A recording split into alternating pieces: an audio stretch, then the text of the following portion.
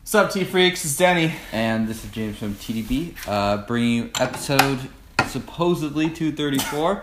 Um, uh, we are drinking some ripe tea here uh, from White Tea. This is called Brown Sugar, and this tea is known for having some explicit language on its wrapper. It Oh, says my. "shit damn motherfucker" on the uh, in big font on the wrapper. So give it to White Tea for creativity. Creativity. yeah, there you go. Sorry. Making the bad tea puns already. Yeah. so, brown sugar. How old is this So it's stuff? twen- it was pressed in 2015. It may have older material. It's supposed to be mainly like Huang Pian, so larger leaf, uh, big broad leaf stuff.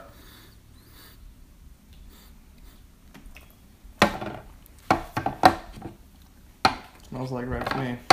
Yep. Not necessarily getting the brown sugar vibes yet. Yeah, I don't know if it's supposed to taste like brown sugar, but I guess we'll see. It wouldn't be outrageous for a ripe, I suppose, to have a little bit of those notes. Mm-hmm.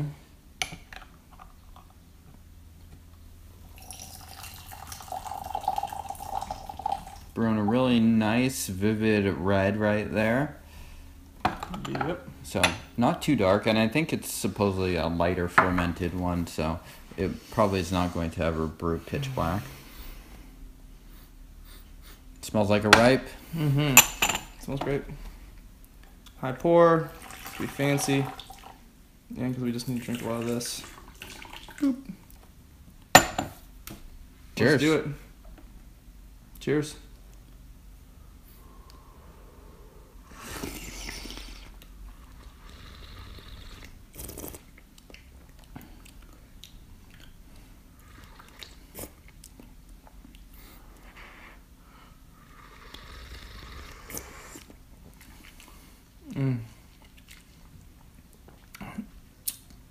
It's like surprisingly uh, viscous and kind of thick, not quite oily, but kind of captivated by the texture already immediately.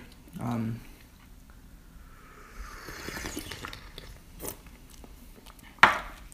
I'd say it's still opening up for me. Uh, yeah, I'm tasting a little bit of it, but I can't say I'm picking up too much uh, just Mhm. distinctive notes mhm. yet. I think it's on the creamier side of uh, ripes as opposed to the more um, fruity. Yeah, it's got a bigger, rounder profile, I'd say, than Yeah. uh, than like an intensely rich one. Brewed up nice and dark. Did you write the leaf, the leaf on this? Because this looks like mucho. Mucho is a lot in Spanish. for Uh, folks out there. No, I didn't. it, it, it very well might be. So we can pull some out if we think we're overdoing it. We need to. Look the material. You do have a little bit of variance there in some of the fermentation. Right. It's so like it doesn't. looks like some is sort of like brownish and some of it's a little bit darker. Yep. I'm just getting tea everywhere. Whatever. Mm, Yep. mm. Onward. Cheers, guys. Cheers.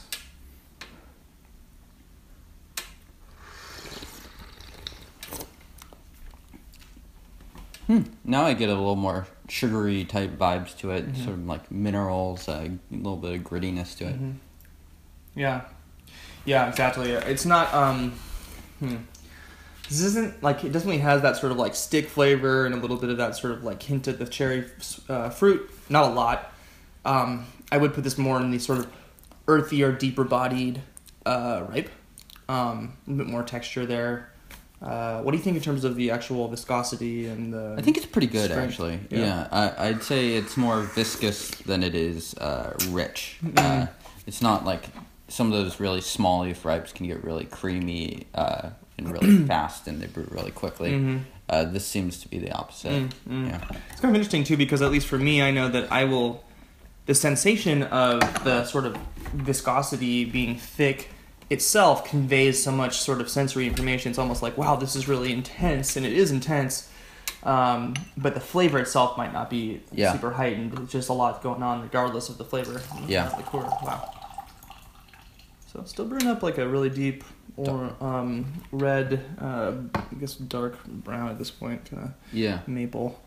So we're probably brewing this, I guess, on the harder end, but Mhm. it, it seems to be holding up pretty well to it. Yeah, I have like maybe like a just a lingering tad of uh, touch of bitterness, but those sort of um, mm, a little bit more uh, frictiony charcoal leaf kind of flavors, kind of mid mid tongue um, that are lingering that taste that are nice kind of interesting. So keep going. Cheers, guys. Gosh, this is just so it's so viscous in the cup. Yeah, I'd say that's probably the thing I like. Uh, I, do you think it's oily now? Like you said Yeah. earlier, it was viscous, but maybe not quite oily. Yeah, but yeah, no, definitely. yeah, I, I would agree. I, I think that's the part I'm enjoying the most about this tea Yeah. is sort of like the thick, smooth, broad profile of it.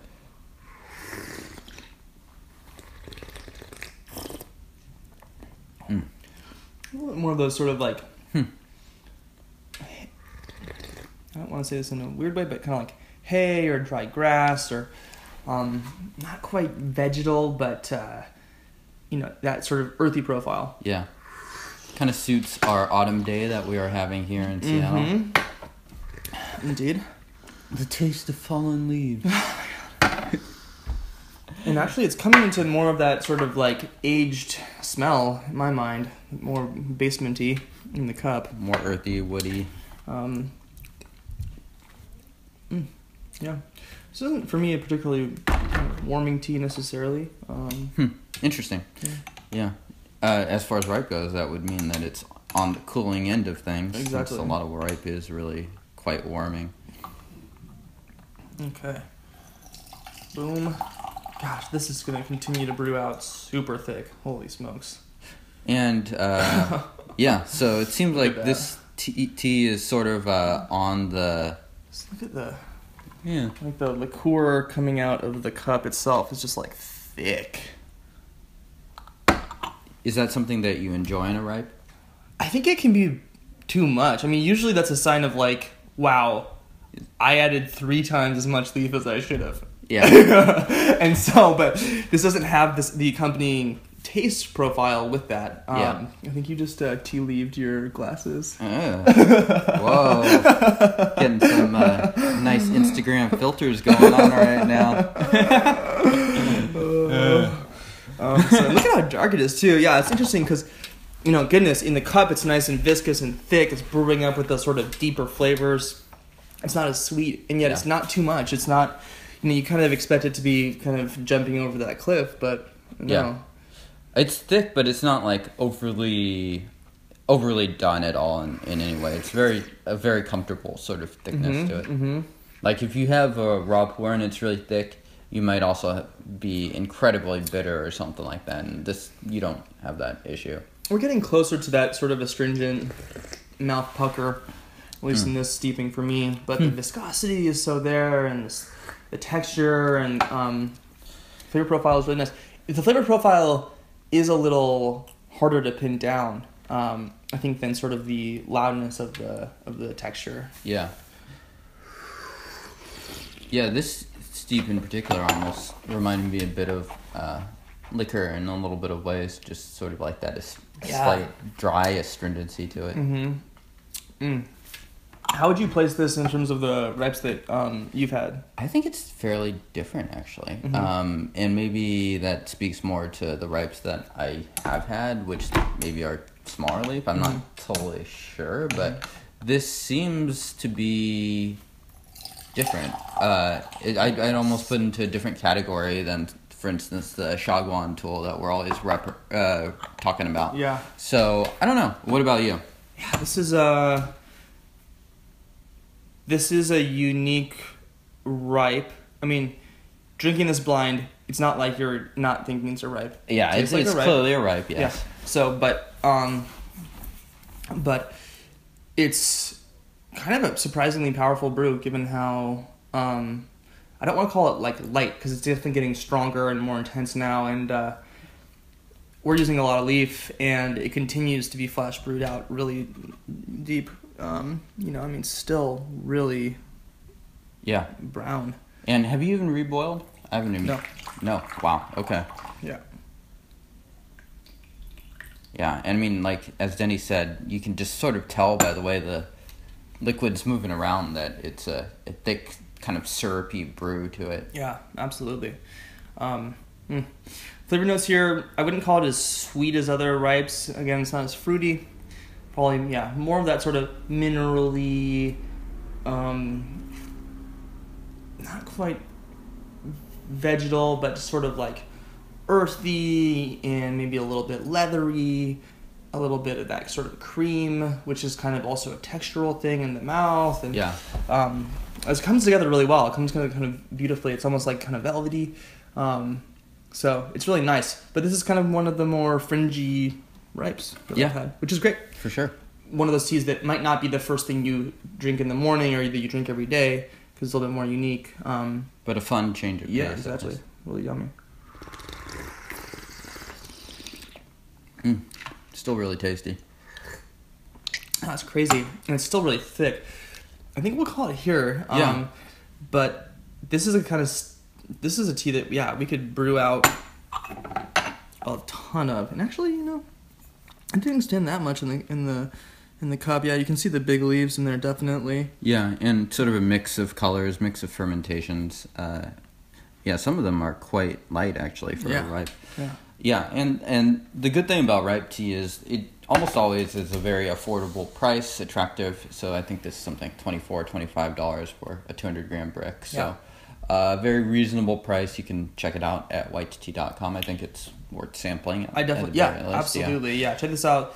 If you folks out there like ripes, um, but want to sort of expand your palate within that category, this would probably be a great Yeah. and um, affordable uh, purchase or sample. Yeah, for sure. If folks want to learn more about tea in general, James, what should they do? Yeah, they should come check us out at teadb.org. They should hit the like button on this video if you enjoyed it. Uh, let us know what you guys want to see more. Do you guys want to see more ripe pu'er? Do you want to see more oolongs? Do you want to see more from White2Tea? Uh, let us know in the comments below. Um, and thank you uh, to White2Tea for making this tea. Uh, I think Denny and I both enjoyed it. Indeed. And we will uh, see you guys next time. Cheers.